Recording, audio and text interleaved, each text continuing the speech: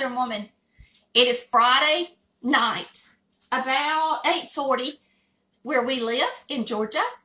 I hope you're having a blessed day. Um, we've had a really good day today. We've been very productive all week, so I'm glad about that.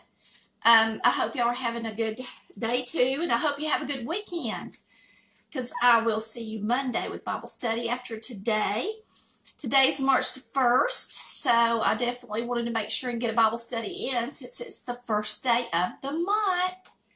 And um, we are reading out of Hebrew, and um, it's a it's a nice um, lesson. It comes from he- Hebrew chapter 2 and verse 17. If y'all want to turn to Hebrew chapter 2, um, it's a beautiful chapter in your Bible, and um, I'm going to read it from uh, this, uh, my KJV right quick. My dog is back here uh, drinking water.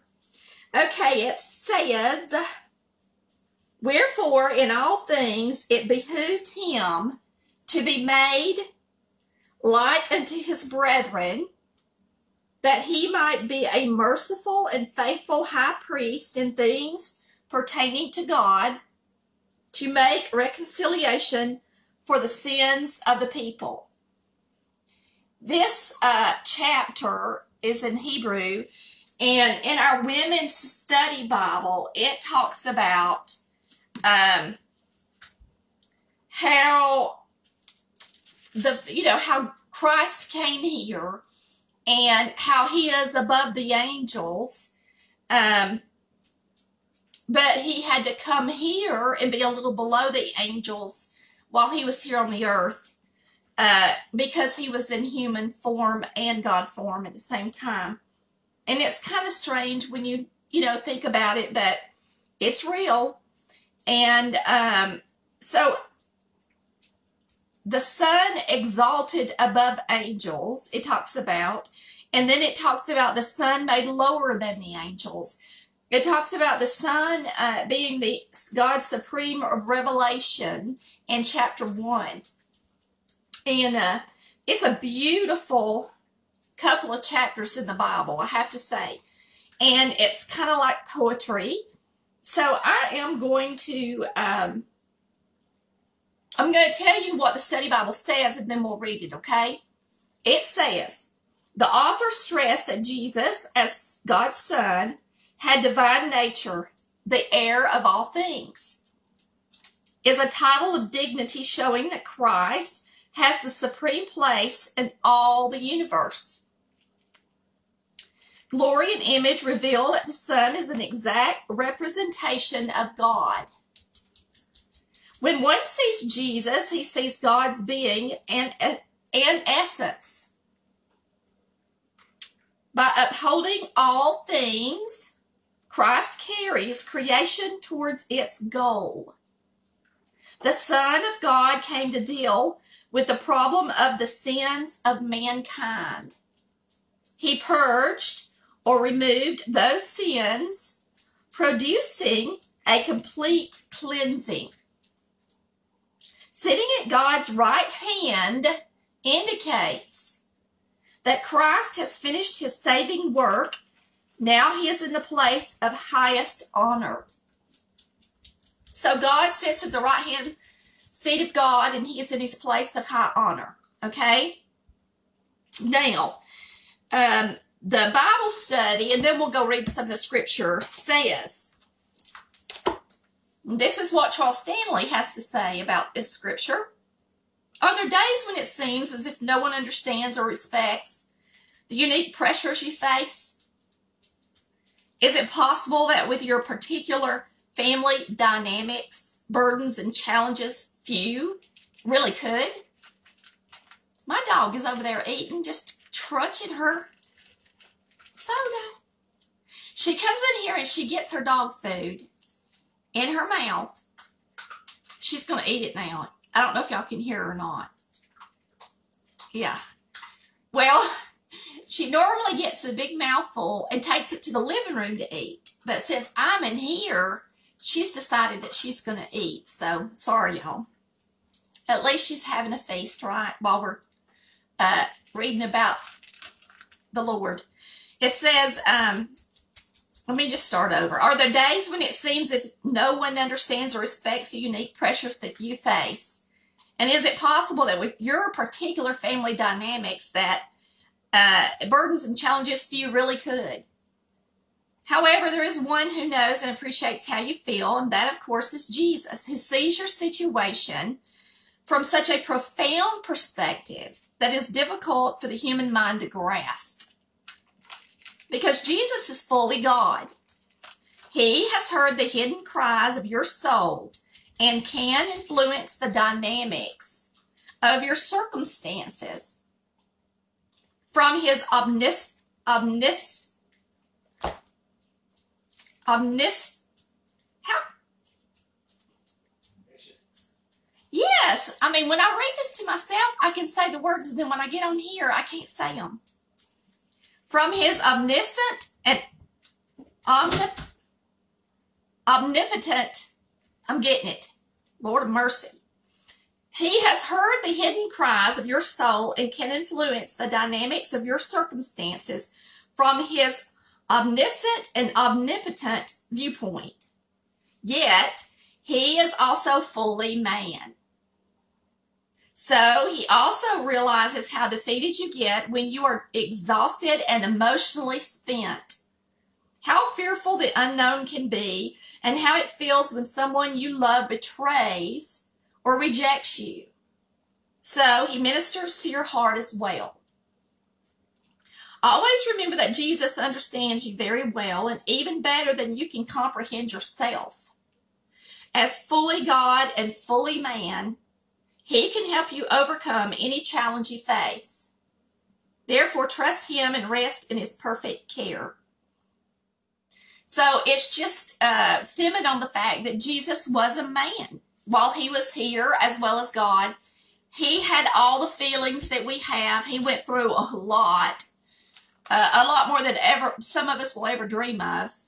And so it's very easy for him to know how we feel and be able to take those burdens from us if we just give them to him and trust him and look to him for guidance, right?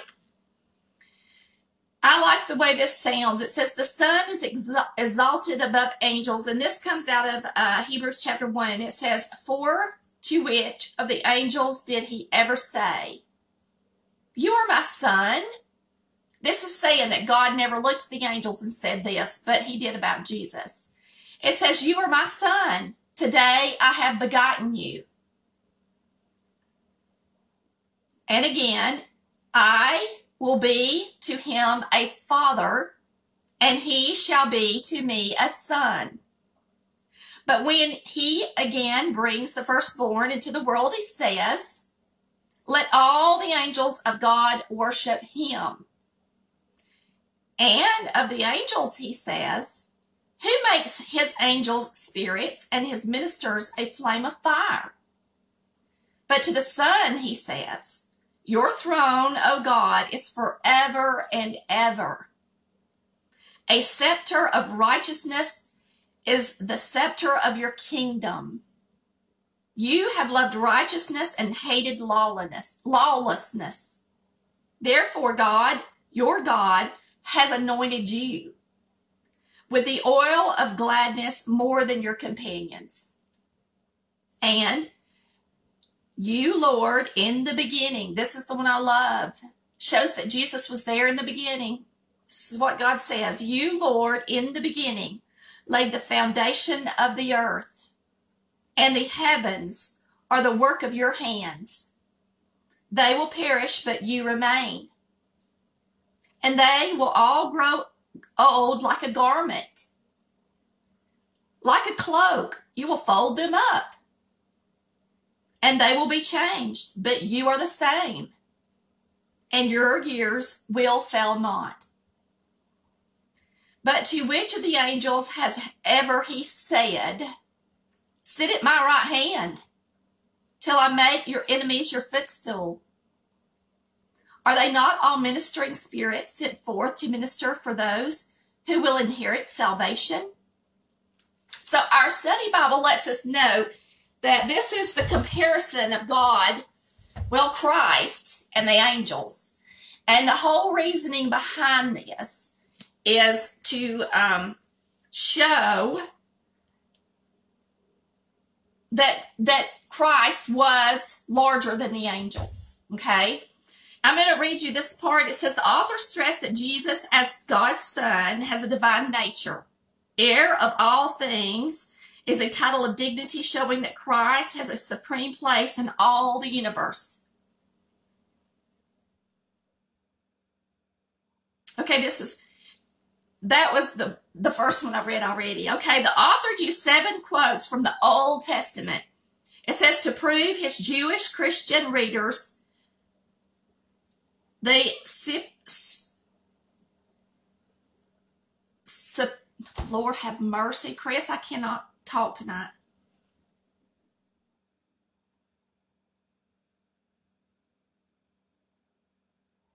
I cannot pronounce this word. Anyway, it says to prove his Jewish Christian readers the superiority, how's that, of Christ to the angels. The Jews highly regarded angels as God's intermediaries in conveying the law to Moses. Let's start over because I sound so goofy. The author used seven quotes from the Old Testament to prove to his Jewish Christian readers the superiority of Christ to the angels. The Jews highly regarded angels as God's intermediaries in conveying the law to Moses. And you can read that in Hebrew 2 2. The writer interpreted these Old Testament quotes Christologically or messianic, messianically. That is, he took passages originally referring to God or to Israel's king and applied them to Christ. In contrast to Jesus, who sits in a royal state at God's right hand, all angels are no more than ministering spirits or servants. They minister to saved persons. The word spirits preserves their place of dignity, but their function remains of that service. It says the writer warns against drifting away from the superior gospel of Christ and neglecting the great salvation offered by him. With these words, the problem addressed by the author begins to emerge. He was writing to Jewish converts to Christianity who were confronting the temptation to renounce their new faith and return to Judaism. The author called his readers to pay attention, act on the things that we have heard or the whole gospel message. Give the more earnest heed, suggests both, to focus the mind or attention on a thing and to act upon what one perceives inattentiveness leads to regression and susceptibility to the temptation to sin. So it's pretty much just letting us know that uh, where his place is and where the angels' place are. So Christ sits at the right hand side of the Lord, and the angels are no more than ministering spirits. Now, I did a study, and it's been last year on angels. And those of y'all who are part of that study know that angels are true beings that God created, not something that a lot of us think are like a lot of us think that it's our um, um, ancestors that come back to us and minister to us, and that is just not true. We're actually uh, completely separate from an angel. When we when we die and we go to heaven, we don't become angels. We are made different than the angels. Okay. Now, does it mean we can't minister to people? No, and we may have a ministering spirit, but I don't think we would be called angels. Okay. So, um, but we do have angels around us, and God made them for that purpose, and they're here to minister to us and help us. Um, I think they they're like guard. I know I really believe that we have like a guardian angel that keeps us uh, safe and that kind of thing. So God is always in control, even when bad things happen. If you believe He's in control, you believe He's in control, and if you believe that God wouldn't let bad things happen, bad things happen. Okay? So he could send a ministering spirit. He, he could send an angel to keep you from having a wreck going down the road, or he may allow that to happen. Always, you must believe, though, if you believe that he's God, that he's in control. Um, because even with Job, the devil had to get permission to do what he did to him. Okay? If you belong to God, then then he is in control of your life. Um, so remember that. Okay? Um, it says, let's see.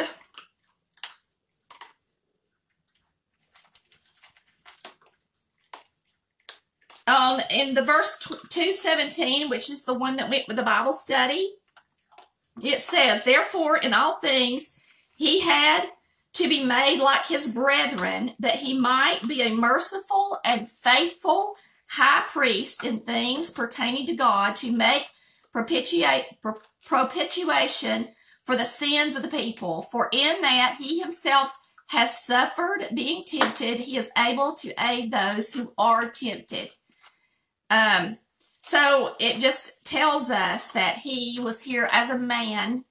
And so he went through those things so that he could be a merciful and faithful high priest in all things pertaining to God. So it is amazing to think that the God of the universe would come down and be born of a virgin and live in the form of man to suffer the things that he did on this earth when he could have been in his royal place where he belonged, but it was not really where he belonged because it was his father's will that he do this, and he did it. Um, another thing I, I've been thinking of lately is I've always been, I've always believed in prayer. I do. But I also believe, I don't know, I'm just one of these that think that you shouldn't I don't know. I think you shouldn't pray selfishly. But um, lately, you know, once I started, I started reading the Gospels again a few uh, weeks ago, and as much as Christ prayed, Christ, God Himself, prayed to His Father. It must be pretty doggone important for us to pray. And you know, I I mean, I think I, I guess my um, challenge for you would be to read one of the Gospels the next, you know, few days. It doesn't take that long to read the Gospel. And just look at how often Christ prayed. And um, if God Himself, through Christ, prayed, I'm sure we're, we're, we should be praying because he put these things in this book for an example for us. And so um, we could never pray too much. Like I, I, I have figured that out. We could never, ever pray too much because he sure prayed a lot. Um, anyway, Marcia Taylor says she has a bad connection. I hope y'all don't. Um, it's so funny because sometimes, usually when there's a bad connection, I can see it on my side. Um, but I hope y'all didn't. But let's just say our prayers. Uh, y'all can read chapters one and two of Hebrew. If you got a study, uh, if you got a study Bible, read in the bottom of it, and um, it's amazing. It's a beautiful. It's a beautiful thing because it really shows you how um, unbelievable God really is and how Christ, it's really something that we can't fathom. We really can't. It's a spiritual thing. So, um, y'all do that. Chris's mom and daddy's coming tomorrow, so we're going to have a good day with them. And May gets to go um, stay with a friend. It's going to be her birthday, so she's excited about that. And um, we all should have a good day tomorrow. So let's just say our prayers. I hope y'all have a blessed day. I hope y'all enjoyed me and Chris working hard this week with our new schedules. Um, if you haven't heard, I have a new channel, Cake Lessons. um, on YouTube. So I need you to subscribe, please. Um, and that would be great. But you get to see our new uh, videos, one post tomorrow, one post Sunday, one for CVC and one for um, cake lessons. Um, let's say our prayers. Dear Heavenly Father, we just thank you so much. We thank you for your word. We thank you for this word in Hebrew that shows us that you were there at the time of creation, that you were with the Father and were part of that creation. Not only that, but it shows us that you were higher than the angels. But then you came down to the earth and became a little lower than the angels. And it's just incredibly amazing that you could do such a thing. We I know with our minds are just are just human minds. We can't understand how supreme you really are. We can try to understand it through the spirit and but we just thank you for everything you've done for us. We thank you for our hope in salvation. We thank you for your sacrifices that you have made for us. May we love you enough to shine your light and tell people about you and um, be with us all as we go throughout the weekend. Help us feel better if we're sick and help us um, smile a little and um, spread some love. In Christ's name we pray. Amen. Do y'all hear my soda? She's out there barking because her mother's not in the living room.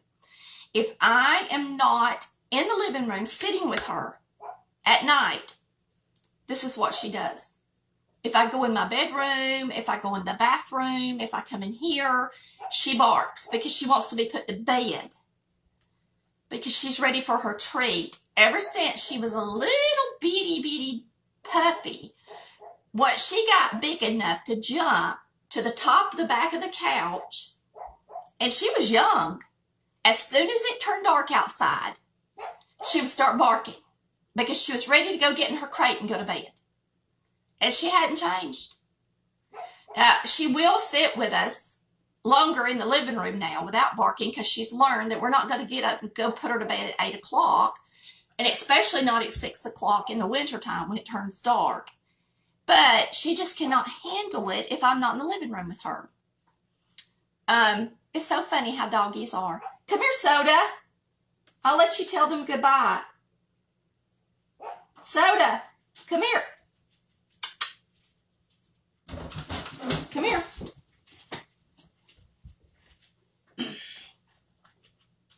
Can you say goodbye? Say, I have to go and bark because my mama's not in the living room where she's supposed to be. This is my soda. She's a Maltipoo. Maltese Poodle Mix. And she's a good dog. She's full, but she's good. Y'all have a blessed night, and we'll see you later on Real Southern Woman. Bye. She's a good guard dog. Aren't you, baby? Now, don't get all jealous. She gets jealous too.